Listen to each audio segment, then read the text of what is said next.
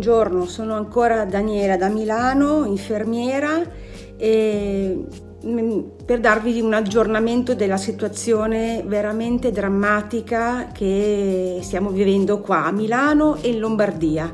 Eh, lavoriamo tutti stressatissimi con una tensione altissima, eh, la tensione psicologica è alle stelle e la situazione purtroppo non si riesce a contenere in tutta la regione Lombardia perché i contagi sono tantissimi, i morti mm, non si contano neanche più e guardate le notizie che arrivano dall'Italia per rendervi conto di cos'è veramente la situazione, è inimmaginabile.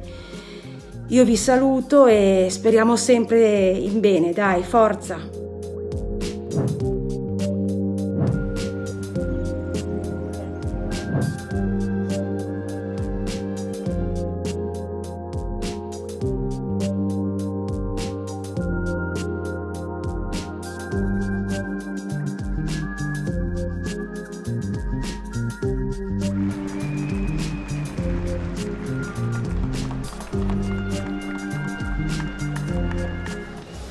现在我们遇到的情况，跟两个月之前的中国的武汉的情况是一样的，大量的人员被确诊出来。